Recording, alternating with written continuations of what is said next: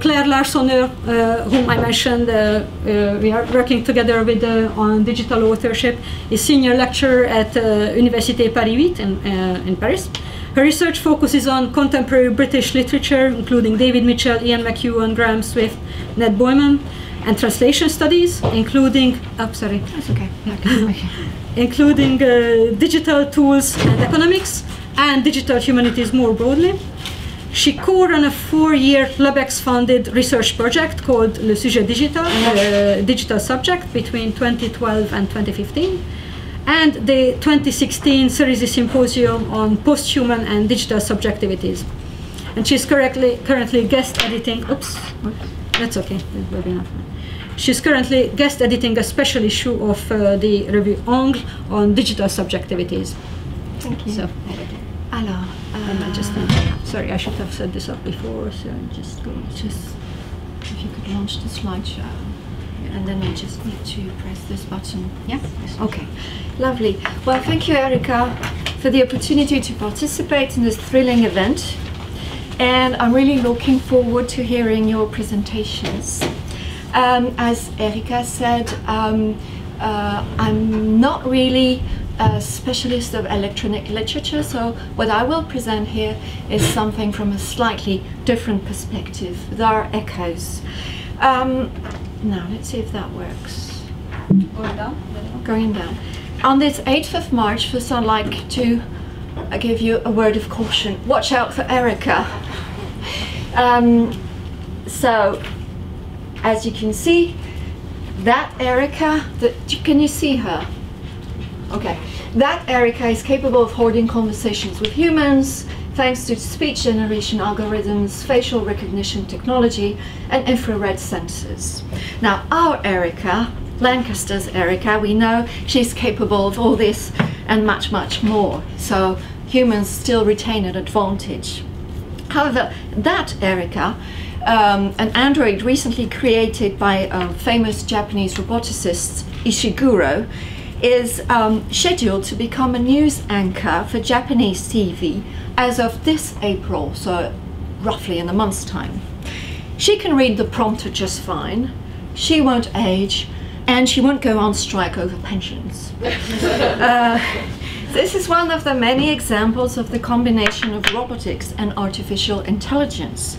And that's what I'd like to focus on. And the issue I'd like to raise today is whether we can, can consider those androids as digital authors. And I'd like to see what are the issues involved in that. And, and um, um, so this leads me to wonder whether we should mourn human authors. And I have one example, which will be uh, very typically French, even excruciatingly French, French telly. So I'm thinking of what was known as the série de l'été, and it was absolutely always the same plot. A young, brave, and beautiful woman who was going to stand up against entrenched conservatism and usually corporate evil to defend her relatives, her endangered heirloom, and the spirit of the terroir. She has a traumatic past, but will find love in the end, and you always can count on the motherly figure to bring yummy local food. How much more French can you go? But it was the identical plot year after year. The only thing that really changed is the location, promotion of tourism in France. So really this could have been bot work. No need of human script writers for that. Um, now let's talk a bit more about the context in artificial intelligence. What is interesting in that slide is um, the dates. Artificial intelligence is nothing new. It's been here since the 50s. What's new is increased computational power and access to a wealth of data. I suppose you meant 1950. Yes, I meant 1952. Sorry, sorry. That's that's that's that's future work. Um, and um, so the idea is beyond the web and what is usually considered as digital. Are we moving towards an era where we'll have AI everywhere? Well, pretty much so. We already have all of the above. we have Watson, we have the infamous Cambridge Analytica, we have our phones, we have our GPS. I've been, um, this uh, winter, I've been focusing on uh, research on artificial intelligence applied to translation otherwise known as neural machine translation. And I've been checking systematically the uh, 50 most relevant research articles published on Google Scholar and ResearchGate for the year 2017. And that is quite interesting because um, it's multilingual, but not in the way we used to know it. That is to say, English remains the key uh, language, both for research publication and in terms of research as one of the pivots. But the second most important language is Chinese, as you can see here, and the third one is German. Most of the research currently happening in translation usually deals with English, Chinese, and German. Some of it Chinese, the, the couple Chinese Japanese, and when it goes multilingual, it usually includes Czech, Russian, and Finnish. And uh, that's really interesting. And I've been also looking at where the research is happening. As you can imagine, a lot of it is happening in Anglo-Saxon countries, mostly New York University, John Hopkins University, Stanford University, Carnegie Mellon, for the UK, that would be the University of Edinburgh, and but it's largely happening in China. So Chinese Academy of Science, Harbin University, Nanjing University, several universities in Beijing, Korea, Japan, in Germany, uh, University of Trier, Karlsruhe Institute, Poland, um, a little bit in Italy, almost nothing in France. And uh, another characteristic of that research is that it is co-funded by uh, global firms that have an interest in providing multilingual content. Let me name them Facebook AI Research, Google Brain, Microsoft Brain, uh, Microsoft Research, Tencent AI Lab, Baidu, um, Huawei, Booking.com, etc. So that's, that's the landscape. Now I'd like to focus on what is actually happening when you have AI producing um, content. And so very basically you'll have computer writes and computer says. What happens when they write? Well, things like that happen. So that was this winter. I'll start with the uh, uh, bottom news. That was the, um, the flagship program of the BBC, the radio program today. Um, in the week between um, Christmas and New Year's Eve, they had um, treats for us. So Prince Harry as guest editor and a bot.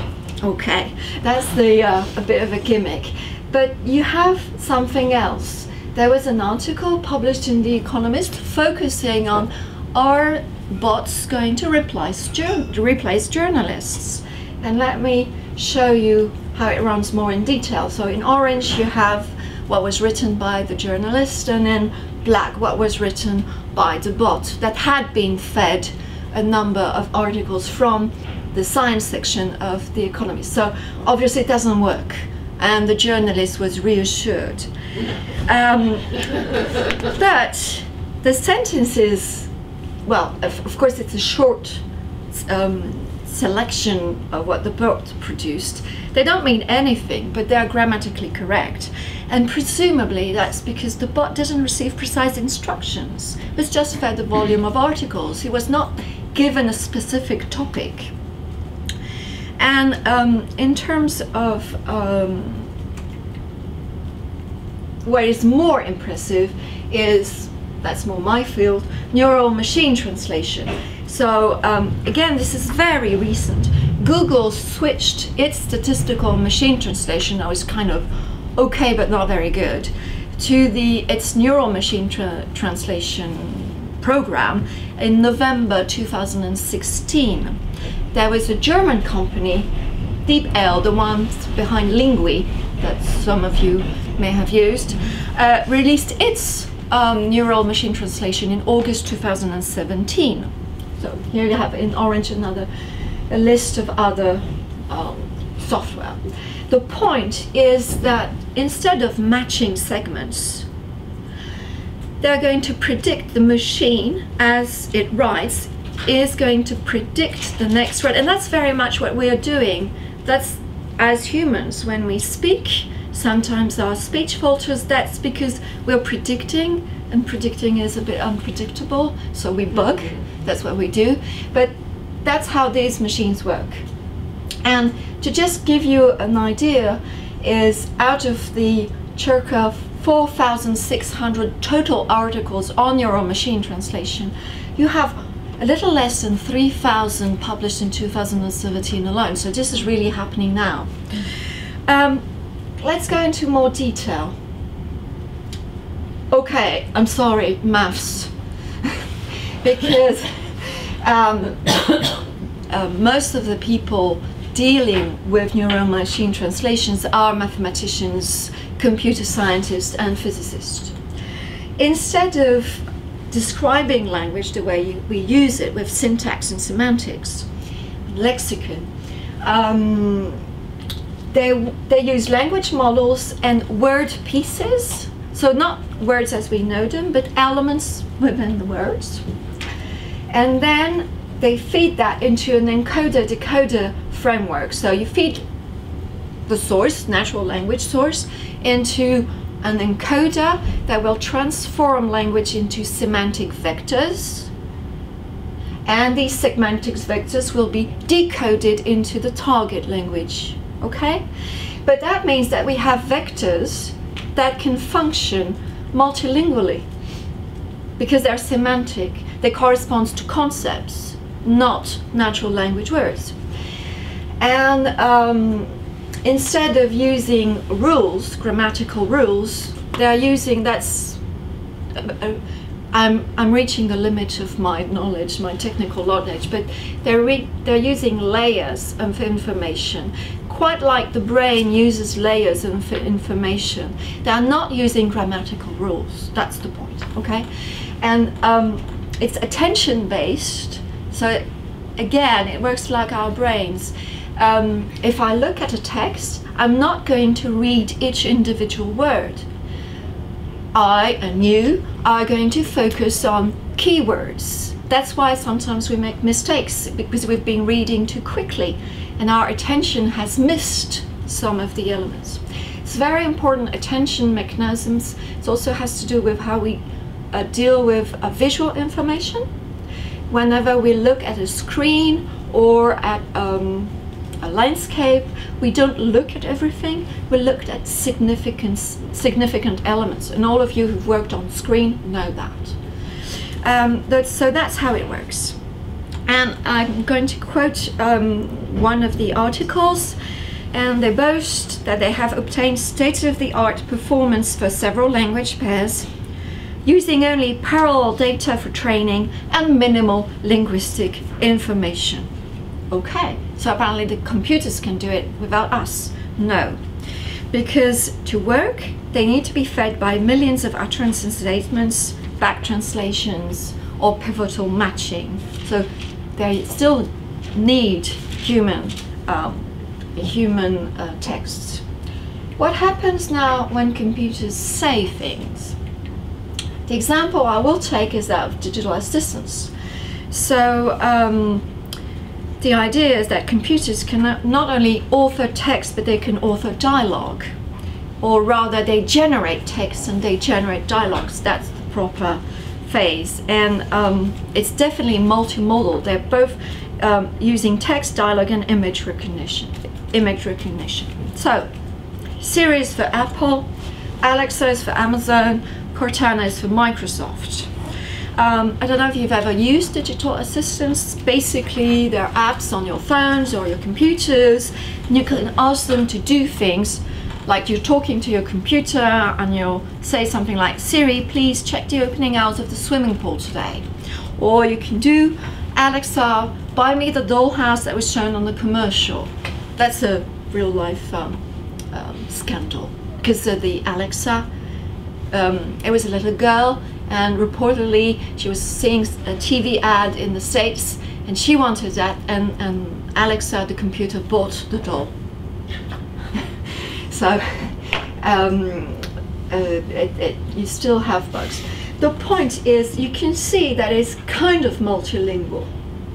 Apple has 21 languages localized for 36 countries, and Cortana has eight languages localized for 13 countries. So they have um, English, Portuguese, French, simplified Chinese, German, Italian, Japanese, Spanish.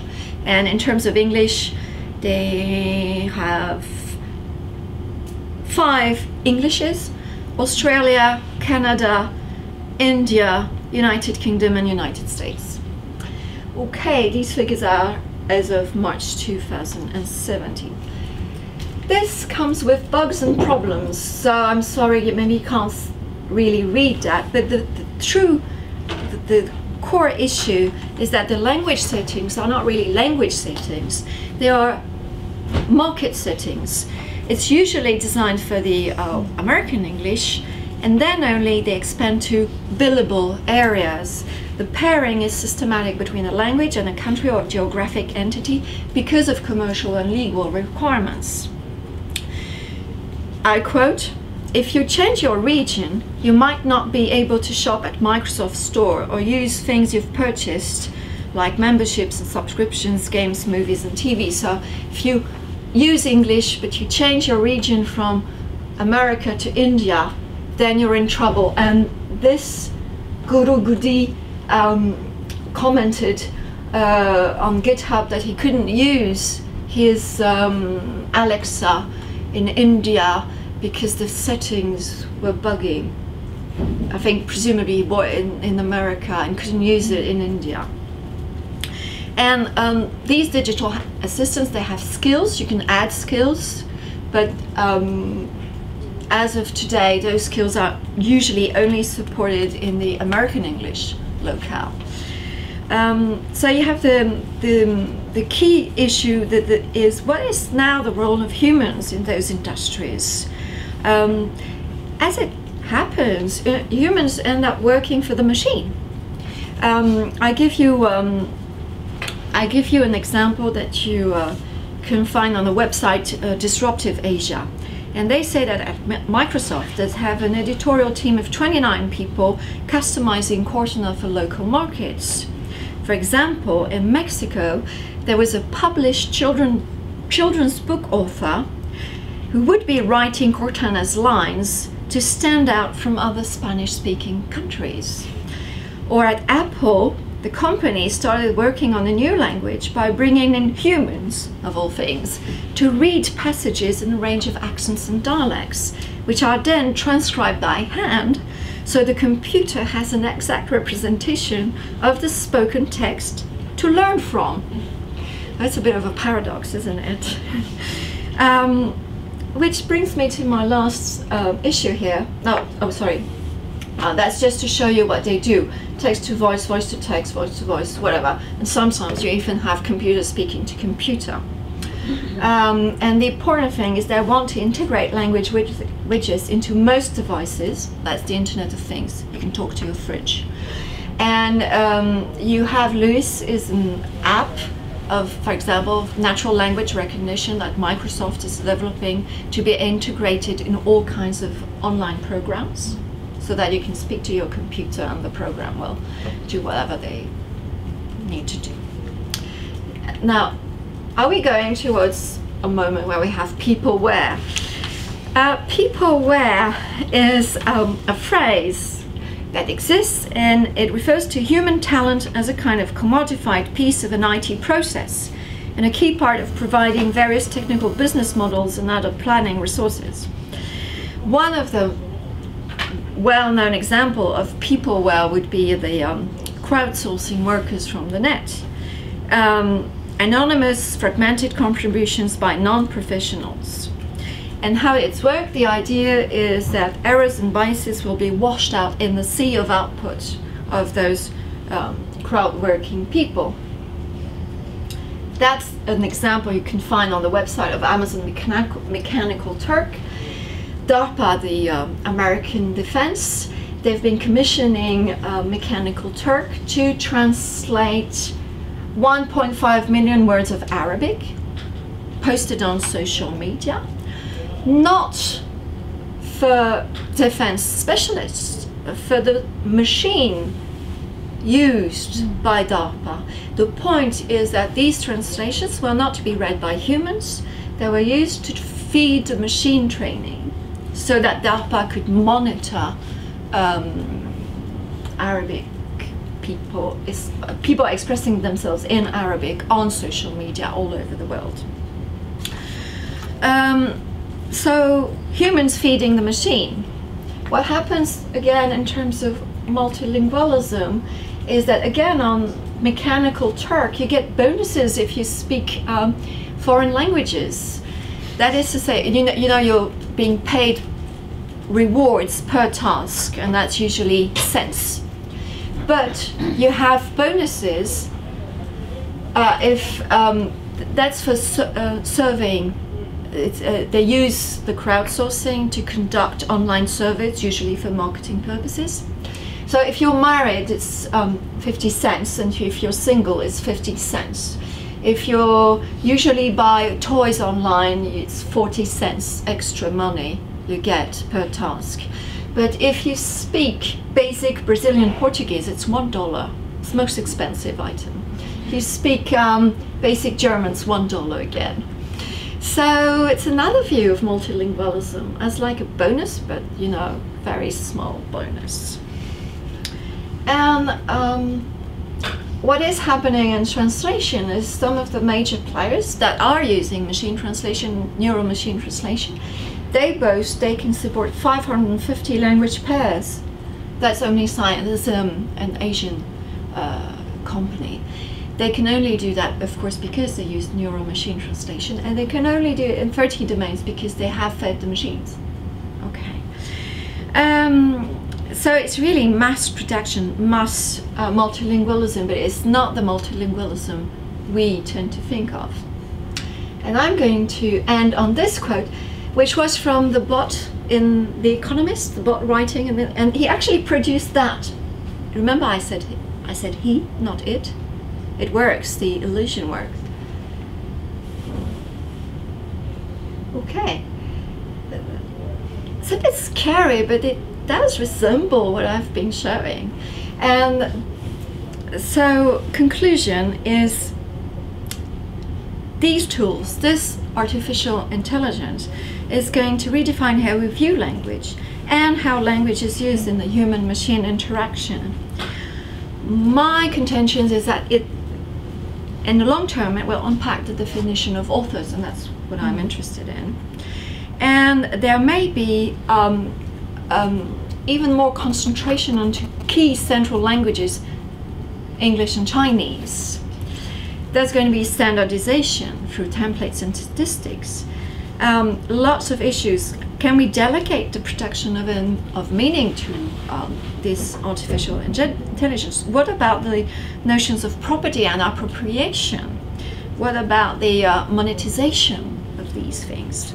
So to me, it seems that AI coupled with multilingualism is a bit like the industrial far west of the 21st century.